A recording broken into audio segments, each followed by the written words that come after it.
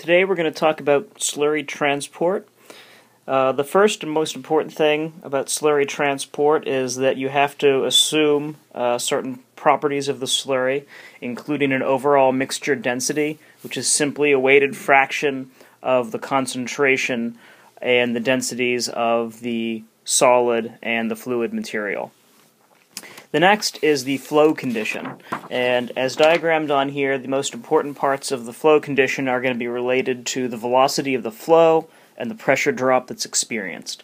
You can separate out the two different kinds of flow as a non-settling flow and a settling flow, dependent on whether or not the particles are typically going to settle under those conditions. And we have three primary sorts of flow in a typical settling slurry and those are a homogeneous flow, which is shown up at standard velocities and higher pressure drops, in which case the particles are uniformly distributed and flow through as if it's a, uh, the same type of fluid, regardless of location in the pipe. At slower velocities, you end up with heterogeneous flow, which means you actually get some separation within the pipe of the larger particles and the smaller particles and then there is at even slower velocities below the critical velocity. So below the critical velocity here, we end up in the saltation regime.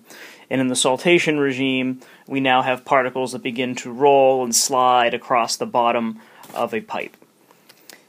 For non-settling slurries, we simply have laminar flow and turbulent flow. These tend to be for much smaller particles, uh, hence there also tends to be a much lower uh, pressure drop than compared to the settling velocities.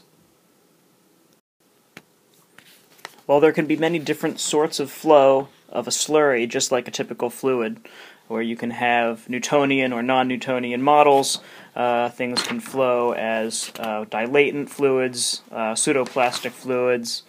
Uh, the most important factor is really the uh, particle size as well as the velocity that you're going to be traveling at. So when designing any sort of slurry transport system, you need to know what that critical settling velocity is, and you design your system to always work somewhere above that velocity. You never want your system to flow at a slower velocity.